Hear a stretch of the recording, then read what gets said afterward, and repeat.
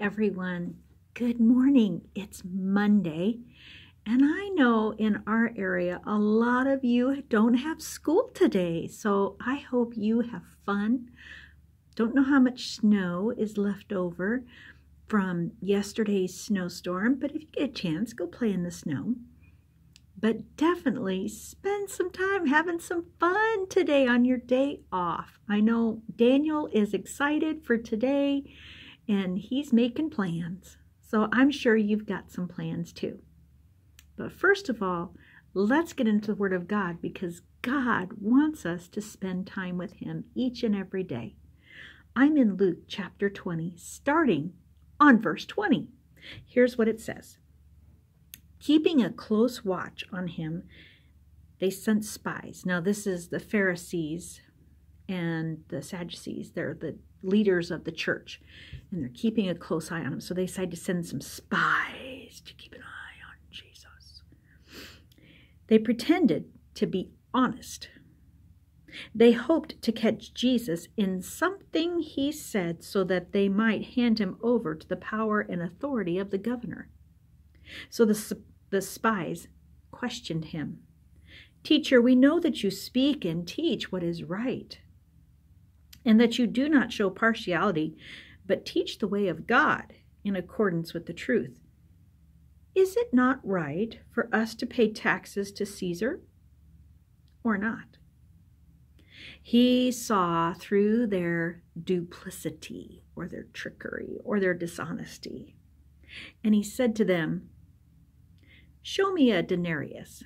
That was their coin, it was the name of their coin whose portrait and inscription are on it? Caesar's, they replied. And he said to them, Then give to Caesar what is Caesar's, and give to God what is God's. They were unable to trap him in what he said in public. And they were astonished by his answer, and they became silent. Don't you just love that about Jesus, that he always has the right answer? I wish I always had the right answer.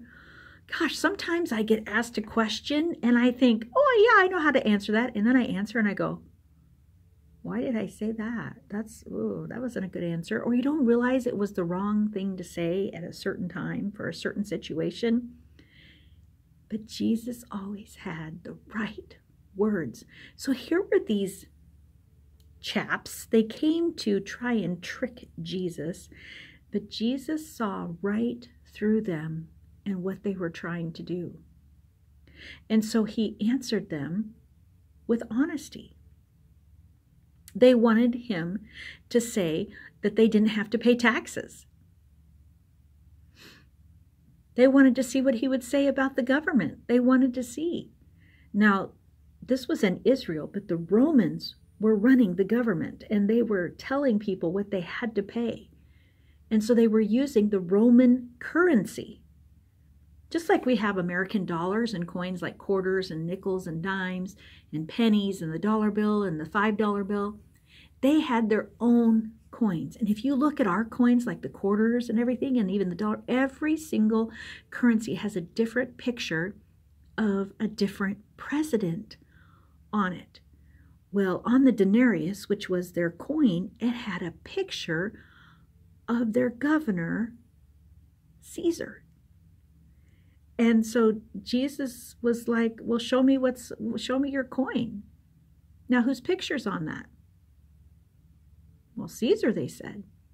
And so Jesus said, "Okay, so give him what belongs to him. If he wants taxes paid, pay taxes to him but give to God what belongs to God. He ended up answering two questions in one.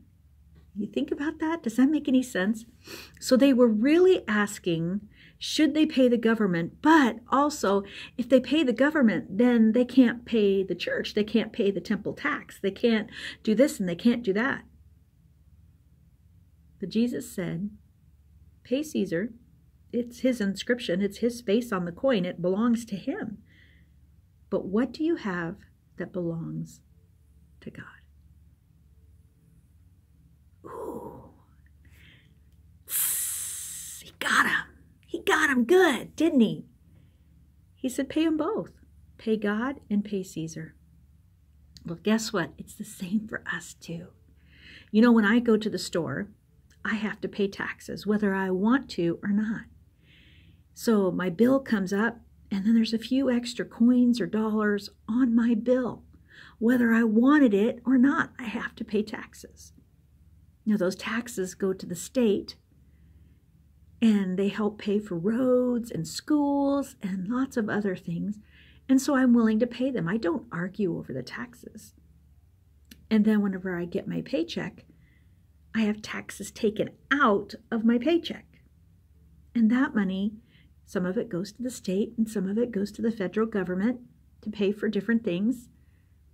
And I don't argue over it because I know I have to pay taxes.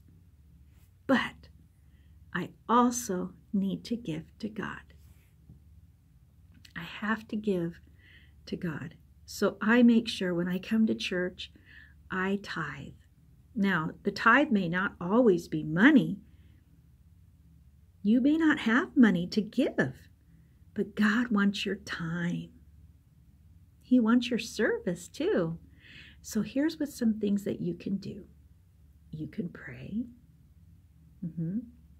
You can read your Bible. You can tell other people about God. You can be kind to people. You can do things for others without expecting anything in return. No thank you, no money, no hugs. Just do it out of kindness and love because God loves you too. So that's your activity for today. Give out of what God has given to you. It doesn't have to be money, but it can be. It can be. You can certainly make a tithe to the church, but give out of what you have your time and your talent, your service. God loves you so much, and He wants you to be able to share what He's given to you so other people can enjoy as well. Let's pray. Dear Heavenly Father, thank you so much for all of the gifts and the blessings that you have given us, not just money, but our time and our talents. Thank you so much for each of those and help us to remember to give back to you what belongs. In your very precious name, amen. You guys have a super awesome day off of school today and take time. Take time to be with God. Love you all. See you next week. Bye.